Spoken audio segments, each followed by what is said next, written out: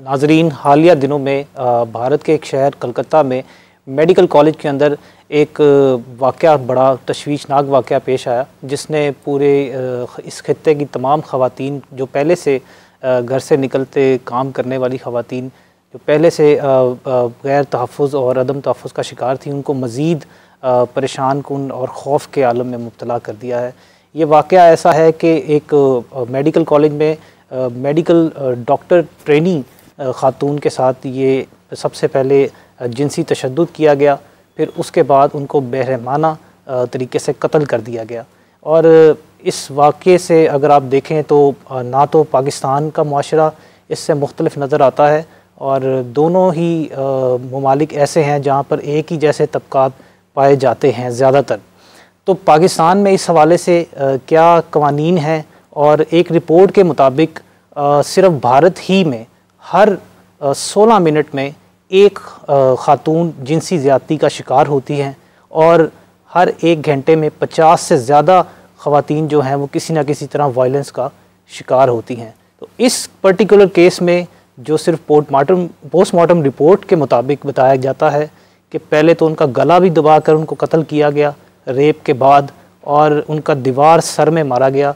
ये ब्रूटैलिटी जो है वो इस तरह के कितने नासर हमारे यहाँ पाए जाते हैं और पाकिस्तान के कवानीन इस हवाले से कितने मौसर हैं।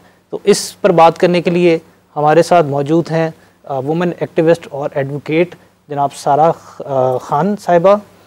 और हमारे साथ तो इसके अलावा मौजूद हैं आला इमरान साहब सीनियर एडवोकेट हाई कोर्ट और advocate high court Zohaib Riaz Cheema साहब। तो प्रोग्राम को आगे बढ़ाते हैं और सारा साहिबा, सबसे पहले आपसे पूछना चाहूँगा। आप इस वाक़े को बींग अ वर्किंग वूमन कैसे देखती हैं? और आपको क्या लगता है, हमारे माशरे में इस तरह के कितने नासर पाए जाते हैं? बिस्मिल्लाहिर्रहमानिर्रहीम। फ़र्स्ट ऑफ़ ऑल तो बींग फ़ीमेल सोच के ही मैं लरस गई थी, काँप गई थी। एक औरत होने की हैसियत से कि उसके ऊपर क्या बीती होगी? ये पाकिस्तान की या इंडिया की ही कहानी नहीं है। ये हर 16 मिनट में भी आपने फरमाया तो आपने बिल्कुल ये बात बजा की है कि 16 मिनट में ये वाक़ हर जगह हो रहा है और उसमें एज का भी कोई कॉन्सेप्ट नहीं है। वो आपकी सिक्स बी ट्वेल्व बी ये एज भारत में जी। हर 16 मिनट के अंदर ये चीज़ें ये वाक़ हो है। का शिकार होती और वो उसका अपना घर था। जहाँ पे वो वर्क प्लेस था जहाँ पे वो काम कर रही थी। सेवेंटी टू आवर्स की उसकी ड्यूटी थी। हम्म। उसने डबल ग्रेजुएशन अभी वो कर लिया था। अभी एमबीबीएस की वो सेवेंटी टू आवर्स की क्लासेस ले रही थी तो हम्म। उसको वहाँ पे ट्वेंटी फोर आवर होना ज़रूरी था। दरमियान में वो रेस्ट भी करती थी लेकिन उसने उस दिन ये हुआ कि उसने सोचा कि पाकिस्तान का और हमारा जो अरशद नदीम साहब ने विन किया है हम्म। इनका वहाँ पे वो ओलंपिक्स था। उसने सोचा कि मैं यहाँ पे जाती हूँ और खाना शाना खाती हूँ थोड़ा रेस्ट करती हूँ इसके बाद उसकी ड्यूटी स्टार्ट होने वाली थी। और वो जब बेचारी वहाँ पे खाना खाने के बाद तो उसको नींद आ गई। वो इतनी थकी हुई थी। एक तो फीमेल हमारी जो होती हैं थोड़ी वीक भी होती हैं बॉडी के लिहाज से फिजिकली अगर उसको नींद आ गई तो हम्म। आया कि वहाँ का अमला कोई तो मुलविस था। किसी ने तो ये काम करवाया उसके साथ। उसने वहाँ पे खाना खाया है ओलंपिक्स वो देख रही है हम्म। और उसके आफ्टर डैट उसके साथ ये होता है कि जो आप सबने और मैंने आवाम ने देखा जो हम्म। बुरा हाल उसका किया उसके गिलासेस आँखों के अंदर धसे हुए थे। और जिसने उसके साथ ये किया है वो सस्पिशियस बंदा पकड़ा भी गया है और वो ड्रंकर था बहुत ज़्यादा। हम्म। उसने पहले भी अपनी वाइफ को छोड़ा हुआ था दो तीन उसकी वाइफ ने उनको छोड़ दिया था। वो ड्रंकर था जिसने उसके साथ ये किया है। दिस इज़ वेरी देखते हैं आ, मतलब अगर पाकिस्तान जैसे ममालिक की बात करें तो पाकिस्तान में भी ऐसे कई सारे केसेस वक्तन वक्तन सामने आते हैं। जी जी। जैसे मोटरवे केस हो गया जैनब कत्ल केस छोटी मासूम बच्ची को नहीं बख्शा। जी और मुआशरे में आपको किस लगता है कि हमारा मुआशरा भी तकरीबन वैसा ही उसी तरह उसी तरफ़ बढ़ता है जा नहीं हमारा मुआशरा मैं ये नहीं कहूँगी हमारा इस्लाम पर ईमान पुख्ता है अल्हम्दुलिल्लाह। वहाँ पे जो है इस्लाम की कमी है। वहाँ तो इस्लाम नहीं है ना मिनटू से कि वहाँ उनका अपना रिलीजन है अपना हम्म। मज़हब है अपने लिहाज से वो पूजा पाठ करते हैं। रिसेंटली हम्म। उनकी अभी रक्षाबंदी एक होती है बहन और भाई। अब वहाँ पे वो रो रहे हैं कि यहाँ पे इस तरह उस लड़की का बलात्कार उन लोगों ने किया है। तो वहाँ रक्षाबंदी के सावन में वो लोग ये करते हैं। तो वो कह रहे थे, हम किस मुँह से हम वो भाई बहन के रक्षाबंदी जो है वो करवाएगा? और सारा ये बताइएगा कि आप बींग अ वर्किंग वुमन देखती हैं और बहुत सारी खातन जो घर से निकल कर काम करती हैं हमारे पाकिस्तान में भी किस हद तक अपने आप को सेफ़ समझती हैं?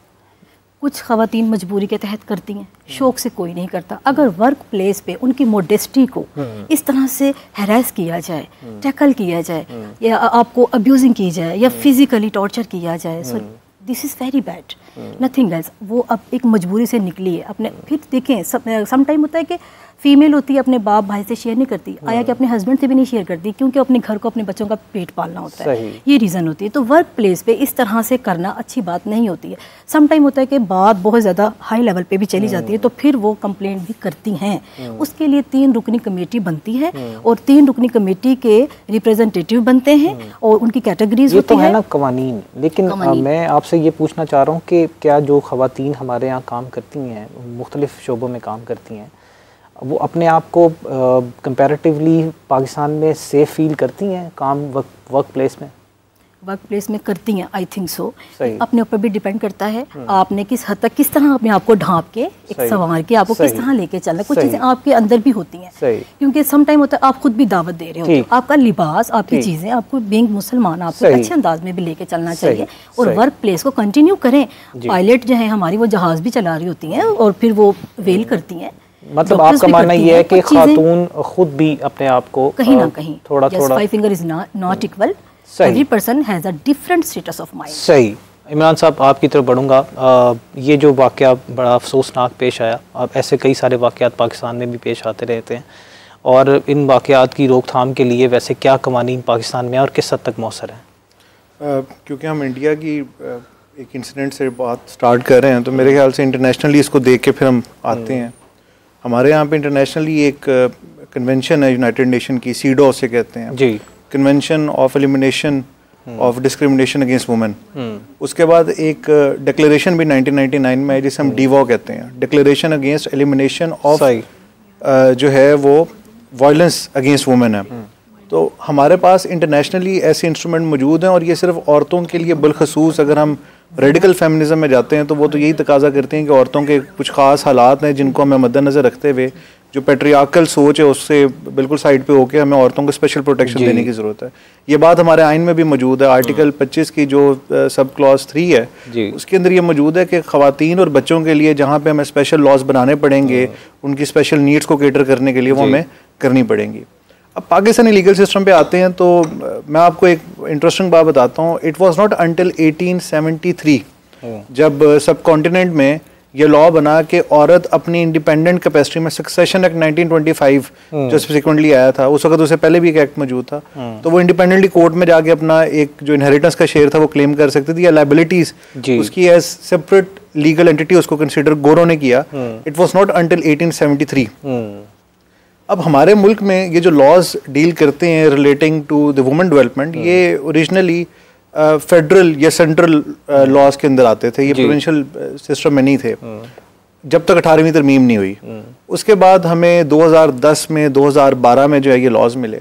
हमारे जो लॉ की स्कीम है वो काफ़ी हद तक जो है वही है जो इंडिया में और बांग्लादेश में है। सही। बांग्लादेश के अंदर और इंडिया का हमने ज़िक्र किया तो जो वहाँ पे लॉ है वो प्रिवेंशन अगेंस्ट डोमेस्टिक वायलेंस का एक्ट है बांग्लादेश में 2010 हम्म। का हम्म। और इंडिया के अंदर है उस लॉ का नाम भी बेसिकली यही है कि prevention of violence prevention and enforcement जो है उसका एक्ट है 2006 हम्म। का इंडिया के अंदर हमारे यहाँ पे ओरिजिनली तो फेडरल लॉज को देखता था फिर 2012 ऑनवर्ड जब हमने सूबों ने उसे अडॉप्ट किया पंजाब ने अपनी हद तक उस पर बनाया बलूचिस्तान ने अपनी हद तक बनाया सिंध ने और जो है ना बाकी। अब इसके ऊपर कुछ लॉज हैं यानी अच्छा, ये, ये भी बताइए कि जब मरीम नवाज़ साहिबा पंजाब की सीएम बनी और स्पेशली जो हमारी चीफ जस्टिस साहिबा हैं आलिया नीलम साहिबा वो भी एक वुमन हैं। तो इनकी आने के बावजूद इनकी तैनाती के बाद आप क्या देखते हैं कि पंजाब में किस हद तक ख़वान की सेफ्टी के हवाले से काम किया जा रहा है? मैं आपको ना इस बात का एक बड़ा अच्छा जवाब देता हूँ। अगर आप इस दौर से पहले जाएँ तो एक दौर था जब मार्गरेट थैचर यूके की प्राइम मिनिस्टर थी। At the same time Benazir Bhutto Pakistan की प्राइम मिनिस्टर थी। हम्म। आपको जो गांधी फैमिली है हम्म। उनकी फीमेल आपको इंडिया में नज़र आ रही थी। तो ये वो ज़माना था 1970s 80s और 90s का जिसमें रेडिकल फेमिनिज्म आया। उससे हम्म। पहले लिबरल फेमिनिज्म था फिर रेडिकल फेमिनिज्म आया। अब हम पोस्ट कलोनियल और फिर पोस्ट मॉडर्न फेमिनिज्म उसके अलावा भी हमारे कुछ नए और फेमिनिज्म की किस्में आ गई हुई हैं। पर ये जो टाइम है हम्म। ये फेमिनिज्म के अंदर एक और नई वैरायटी लेके आ रहा है। मिसाल के तौर पे इस वक्त हम्म। पंजाब की हद तक अगर हम बात करें तो सीएम सीनियर मिनिस्टर आपकी चीफ जस्टिस इसके अलावा आपकी कैबिनेट में फेयर रिप्रेजेंटेशन ऑफ़ वुमेन हो रही है। तो वुमेन एम्पावरमेंट बिल्कुल बहुत ज़रूरी है। फेयर रिप्रेजेंटेशन ऑफ़ वुमेन का एक्ट भी हमारे काम आपको इसके बाद नज़र आता होता हुआ नज़र आता है। इसके ऊपर जब हम जाते हैं ना तो एक चीज़ है कि जब भी कोई लॉ आता है या कोई सिस्टम आता है ना तो जितना उसका बेनिफिट होता है ना उतना उसमें पोटेंशियल टू बी अब्यूज होता है सही अनफॉर्चुनेटली आज ही मेरे ऑफ़िस में मेरे पास एक रिपोर्ट आई और उसके अंदर लिखा हुआ था कि ये पिछले चार पाँच महीने में हम्म। जब से इन्होंने वुमेन पुलिस स्टेशन बनाए हैं हम्म। तो पूरे पंजाब में उसकी जो कंप्लेंट्स थी वो तीन हज़ार पाँच सौ से ऊपर थी हम्म। जिसमें छः हज़ार एक सौ कुछ लोगों को उन्होंने एक्यूज उसके अंदर कहा हुआ था उन तीन हज़ार में से पच्चीस सौ के करीब एप्लीकेशन जो हैं वो फेक निकली या उनके अंदर कोई सब्सटेंस नहीं निकला। सही। यानी उसमें वायलेंस ही साबित नहीं हो रही या वुमेन सेफ्टी ऐप के बारे में बात जी जी। वो ऐप भी और उसके तहत जो पुलिस स्टेशन जिन्होंने बनाए हुए हैं हम्म। पूरे हर डिस्ट्रिक्ट के अंदर हम्म। उनकी जो रिपोर्ट आई है पूरे पंजाब की हम्म। वो ये आई हुई है। सही। तो